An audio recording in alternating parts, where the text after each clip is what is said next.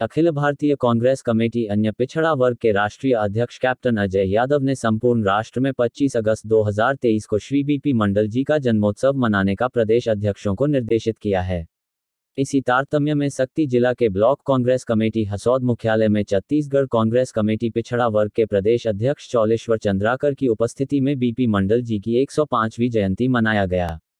Doctor Chauleshwar Chandrakar ने संबोधित करते हुए कहा कि मंडल आयोग का गठन वर्ष उन्नीस में सामाजिक, शैक्षिकी रूप से पीछे वर्ग की पहचान के उद्देश्य से किया गया था। इस आयोग का नेतृत्व भारतीय सांसद श्री बीपी मंडल के द्वारा किया गया था। 1980 में मंडल आयोग की रिपोर्ट में पीछे वर्ग के लोगों के लिए सरकारी नौकरियों में सत्ताईस फ़ीसदी का आरक्षण की सिफारिश की गई थी। आज से परिदृश्य में भारतीय राजनीति में आरक्षण इतना महत्वपूर्ण हो गया है कि इसके ज़िक्र मात्र से सरकारी बैन और बिगड़ जाती है। एलुक्त कार्यक्रम में सैकड़ों कांग्रेस कार्यकर्ता उपस्थित रहे।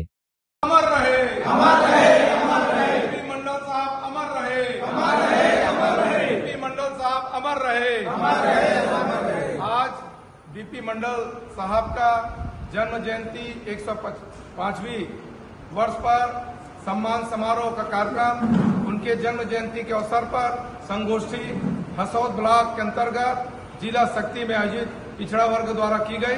निश्चित तौर पे बीपी मंडल जी ने जिस प्रकार से दलित, शोषित, पिछड़ा समाज को उठाने का काम किया है, आरक्षण दिलाने की बात कही है, ऐसे महान शक्त को मैं प्रणाम करता हूँ और बाबा भीमराव अंबेडकर साहब को प्रणाम करते हुए अपनी बात यहाँ सब लोगों ने रखा है।